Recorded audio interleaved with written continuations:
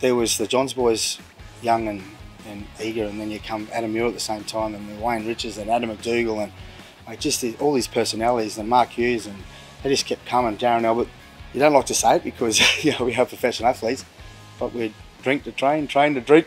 so it's just, and we just like drunk ourselves through two grand finals pretty much.